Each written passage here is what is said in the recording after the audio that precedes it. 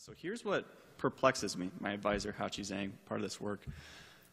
Inspection is overwhelming. So here we have this website, this really cool UI effect, the iPad mini. You can go on there and you can select your colors and everything. And as it changes, there's no page refresh happening. There's no Flash, there's no Silverlight. This is native HTML, CSS, and JavaScript, and it's really cool. But say I wanted to use this in my own website. What am I faced with? Similar problem. There's a lot of JavaScript, thousands of lines of JavaScript. And even as an intermediate programmer, I don't even know where to begin. I'm not sure what to do. And there are a lot of problems inherent with this approach. There's a lot of code, entry points aren't obvious, there are tons of information barriers that prevent me from inspecting it. Changes happen so fast that I can't track them. And Ko, Myers, and Aung tell us all about this with their paper on learning barriers. There's just a lot in the way of learners being able to learn something like this. So the broader research goal that I want to tackle with Unravel, I want to make examples out of professional websites everywhere. After all, websites are served out over the internet, and they give us the HTML, CSS, and JavaScript in the browser. Why not reuse it and make sense of it? The problem is the code is so difficult. We have so much code at our fingertips, we just need the right tools to make sense of it for us. Before we dove into developing Unravel, we had a pilot study that examined what users do right now if they want to reverse engineer a web page and reuse part of it for their own work. So we took Tumblr. Tumblr won the Webby Awards this year for a really cool design. As you scroll down, you get this card flip effect and all these neat SVG animations that pop up. So we launched a pilot study and we asked four developers, intermediate and expert professional web developers, to reverse engineer Tumblr in 20 minutes. Think of that. Talk about anxiety. It's a little shaky. We wanted to, we didn't want them to fully do it, but we wanted them to get enough out of it that they would head for a strategy of reverse engineering it and develop it for like their own web page to get a toy example going. Not all of them did it, but we did find some commonalities in their strategy. So there are 60,000 lines of unminified JavaScript in Tumblr. What they did is they copy and pasted a lot. They used Command F to find all, they copied and, they copied and pasted the code, and, and there was really poor tool utilization, uh, inspecting with Chrome or inspecting with Safari, and, and looking for ways to get in and uh, discover what the JavaScript was, such as like DOM breakpoints or inspecting event handlers. So with what Unravel, we, we found an idea. We want to unravel the mess of HTML and CSS and JavaScript for the user so that they can better understand it in learning examples. And doing that, we don't want to have inspection. We want to bubble up relevancy for the user so that they can discover what's happening. Offer some library detection for them so that they know, hey, jQuery's here, you might want to use it. Referencing related work, we really wanted to understand what had been done so far before diving in and developing our own approach. All of these approaches are, are wonderful. So back in 2009, Steve Oney and Brad Myers' group launched FireCrystal, and that helped us get record and replay in web applications. You could make a timeline, record a DOM interaction, play it back over time, and see what JavaScript was executed. Dynamic web breakpoints in 2010 with Barton at Mozilla gave us DOM breakpoints. You can actually set something on an HTML element, and then when you change that HTML element, a breakpoint is dynamically set in JavaScript. It's really cool stuff, and not many people know about it. Theseus in 2014 gave us real-time event traces from the browser through live instrumentation. As you're doing something in the browser, you can see it in context with your IDE, brackets in this case. Live traces happening, you can make sense of them there. And we just heard about Scry giving us replay and a hint of causal JS, HTML, CSS, as well as disk between program states. So how does Unravel fit into this work? And I'll add my own vastly minified line of description here. I just want, show me what happens first and let me inspect it later. Just give me a high level idea of what code is causing it, just the small portion of code, and let me inspect it. I want to make Unravel portable so that it's not tied to one browser. You can implement it in multiple browsers, make it native HTML, CSS, and JavaScript to inspect native HTML, CSS, and JavaScript. I want the technical parts of it to be extendable so that if you want to key in on that JavaScript inspection, why not be able to implement that in Node.js or Rhino.js or other JavaScript runtime environments? And lastly, I really want to evaluate how it's used with a user study Because after all, we're targeting users, we're making things easy for them, we want to target learners, and we need to understand how they're using it, what, it, what they're doing, and if it's useful. So Unravel as a system, and I'll zoom in a little bit later in case you can't see it, composed of three panes, and it's an extension of the Chrome DevTools. It lives in the Chrome DevTools, and it's out on the side. So on the left here, we have Tumblr, and on the right, we have this inspection pane called Unravel. At the top part, you have HTML observations happening. This top pane shows you everything that's rolling up and changing on the page as it happens during your recording. The middle pane is library detection. Tell me what libraries are available there. A lot of people developing JavaScript are using libraries to save them a lot of time with syntactic sugar and polyfills and things like that. JavaScript traces is the last pane on the bottom. What that does is it highlights call stacks that are made to the document API. And the document API is where the magic happens for changing the HTML. And that's all of what I wanted to capture for these rich contextualized UI interactions. All right, let's do a live demo. We'll go over here. I'm in the browser. I have Tumblr up. And this is the cool card flip effect that happens. You scroll down and you get that cool interaction. So I have Unravel over here on the right. It injects an observation agent into the page.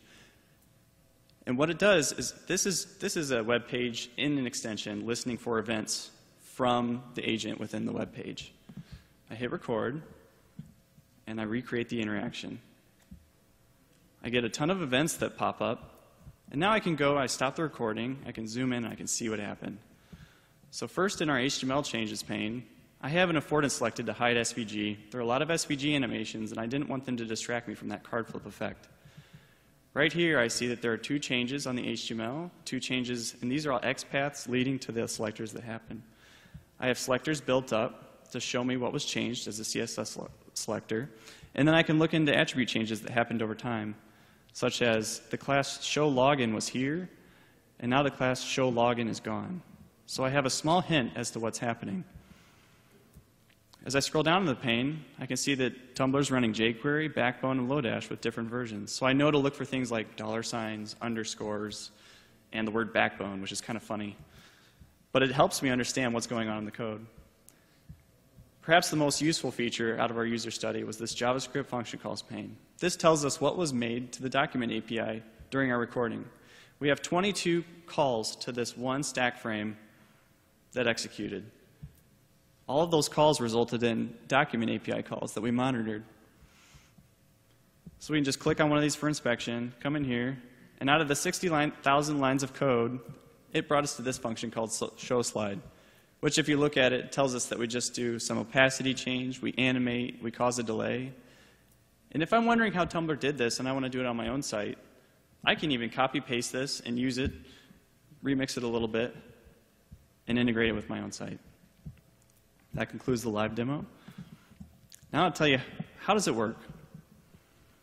So the core technical contribution of this paper is the API harness. And previously I told you that JavaScript manipulates the document API to change the page.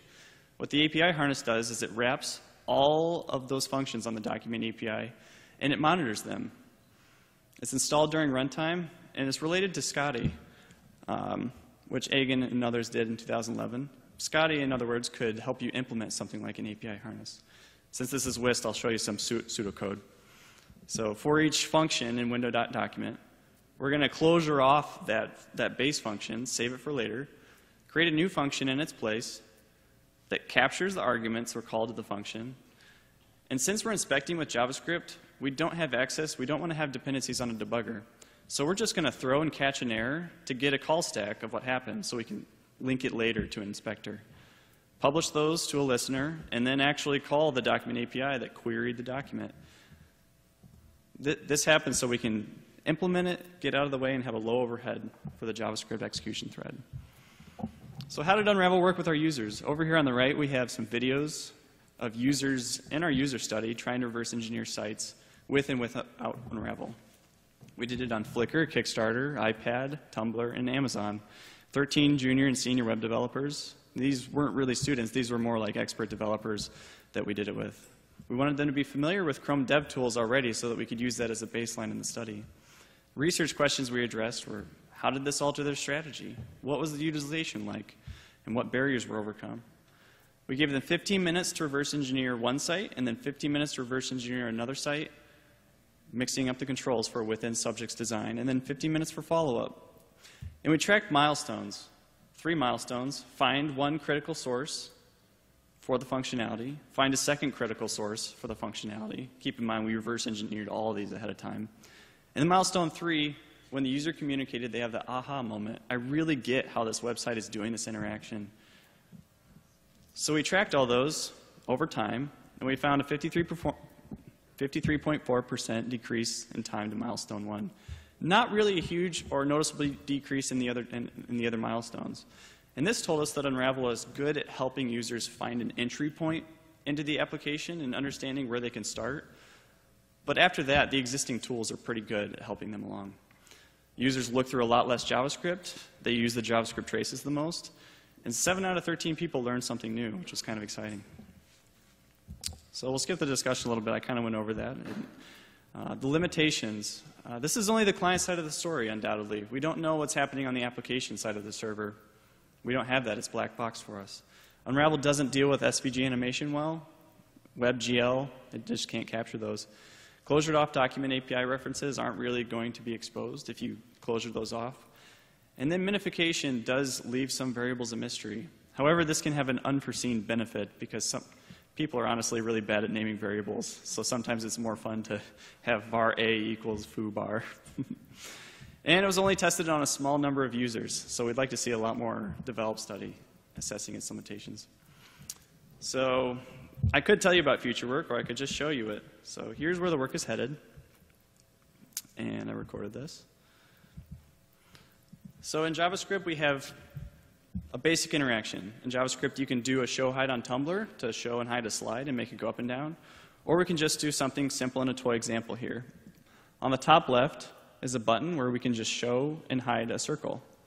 So we're going to hit record in the interface. We're going to show and hide the circle using JavaScript on the fly. After that recording happens, we're going to click one button that just says fiddle, and we'll see what happens. So on the fly, that extracted source out of the web page and put it out on the internet in a live editor that can be shared, forked, and redistributed. The interaction is reproducible in this editor, as well as the JavaScript, HTML, and CSS are available for us. Code that was run was highlighted in yellow. This is based off of Theseus and Fondue. And we have call stacks and arguments aggregated in line with what happened. There are also affordances to hide inactive code, hide libraries, so that we can get to the essence of what was executed in these shareable examples. So that's where the work is headed. So, with that, I'd like to expand the challenge to all of you to join with me to help make the internet a world of professional examples. Thank you so much.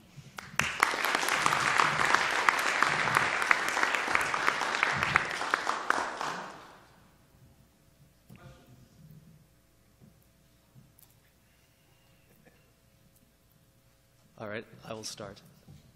So, Tumblr is a really interesting example because they won the Webby Award because they were creating a novel interaction, something that was essentially created bespoke. It had, didn't exist before. They, and usually when you do that, you end up sort of hacking the existing libraries to make it work, and eventually that becomes the norm and people wrap it into functions and, and figure out how to implement it.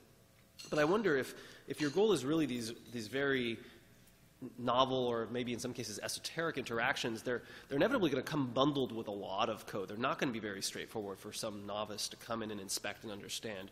So I wonder if that's the direction you want to go, is there like another level of indirection that we need to, that we need to pop up in, in order to explain at a high level what's going on? Because if you just look at the low level JavaScript, it's going to be tough. Yes, yes, absolutely. And the question was, how can I you know, this is going to be confusing for novices if we have all these odd, crazy interactions that are, that are program really difficult. And as part of the future work, this is originally catered towards intermediate and advanced users, but we really want to step back and access learn, learning pathways that lead up to those advanced interactions. So once we get all that code out, let's use some means to, de to develop hey, you need to know the fundamentals of JavaScript, you need to know jQuery, and then you might want to look at an advanced API like jQuery Animate to discover how to understand this code. Develop that in concert with that example and ship it as a readily available learning experience on the fly. Thank you for that question. Uh, Lydia Chilton from the University of Washington. Um, so this is this is great work. I do a lot of web um, programming. It's kind of all I do, and yeah, it's complicated. I love your story about creating uh, what do you call it? Real world teachable examples. Yeah. Is that the right? Sure. Yeah. So um, one thing that you realize is that you see an element, and then you have no idea how complicated it is, um, and then uh, sort of in your uh, scheme, you have various levels of things that are interacting. Is there a way to maybe give someone a score to say, hey, this is going to be hard, or hey, this is going to be easy before I decide that I really want to learn it? Yeah, Um, and that's that's also a great consideration. And some aspects we're looking to into are like behavior mining in essence. So like I can gather all these examples, I can see commonalities in them, and I can rank them amongst each other. And I hadn't considered like a difficulty rating yet, but I like that consideration. I think it would be pretty useful. In tandem, like with the earlier point about let's let's make learning examples out of these for novices and scaffold them along that learning pathway, mm-hmm. and say, hey, this is more of an advanced tutorial. You know, if if you want to stick around for a while, you can actually learn all this rather than just an intro simple tutorial. Yeah, I like that a lot. Thank you.